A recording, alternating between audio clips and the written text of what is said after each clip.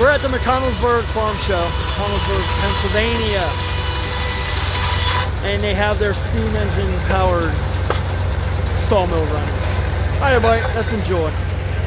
I'll show you. That's what's running this. The Case.